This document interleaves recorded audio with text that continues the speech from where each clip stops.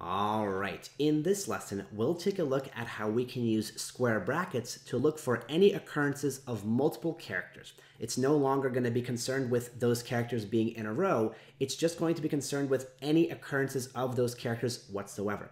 So we can see an example right here. If we have square brackets with A, B, C, this will tell the regex to search for any single character of A, B, or C. It no longer has to be the three of them in a row. It can just be any one of them in any point during the test string. So for example, right here, if I put the string flower power, if I put something like FWR here, that would not match anything because the regular expression is literally looking for the characters FWR in sequence. However, if I put them in square brackets, what that is communicating is any occurrences of either F or W or R. So I can break this down step by step. If I put F, we're going to find all the Fs. If I add on the W, it's going to add on all of the occurrences of W, and the same rules apply for R. There we have all of the occurrences of either F, W, or R. And because it's searching character by character, the order that we put them in within the square brackets doesn't matter. So if I flip this around to something like RWF, or WFR, we're going to get the exact same result because it's just matching character for character.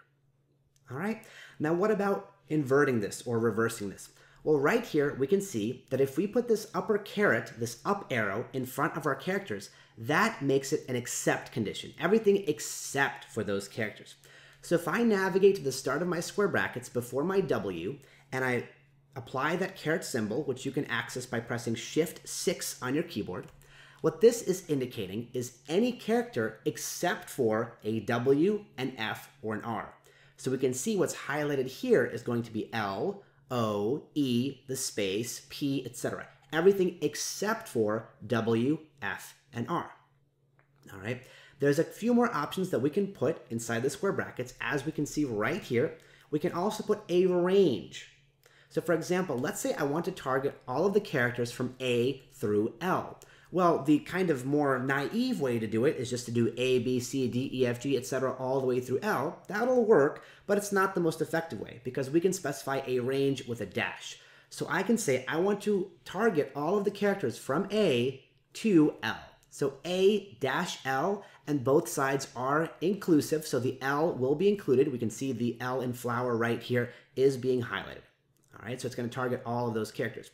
And similarly, if I want to target everything besides that range, I can negate it with that caret. That is going to be all of the characters besides the range of A through L. Now, it's important to note that this search is case sensitive. So this range represents the characters from lowercase a to lowercase l. So at the end here, if I add, for example, capital A, capital B, capital C, etc., notice that it's not matching because this is only searching for lowercase. So if you want to add on a search for capitals, you need to repeat the exact same range, range logic with capital letters. So I can do something like A dash L, capital, and you'll notice now it's going to target those capital A, B, C, Ds at the very end. So you can group together or combine together a lot of these expressions within the square brackets to indicate what it is that you want to target. I'm just going to remove this right here and remove this from here. And that's all there is to cover in this lesson. We talked about square brackets. They allow us to signify one or more occurrences of any of the characters that we put inside them in any order. We can negate that with the caret in front of those characters. That indicates anything besides those characters. We can also put a range, a sequence of alphabetic characters by using a dash. For example, H-R will give you all of the characters between the letters H and R inclusive. And we also talked a little bit about case sensitivity. Whichever form you choose, just remember it's going to apply to that one. So if you use a dash between two lowercase letters, it's going to apply that and search for only lowercase letters in that range. If you want to make it independent of um, case sensitivity, you want to apply both of those dashes, uh, one for the lowercase set and one for the uppercase set. There may be additional ways to do that in regex. There's many times multiple solutions to the same problem, but that's one way to get around it. All right, so that's how we use square brackets in a regular expression.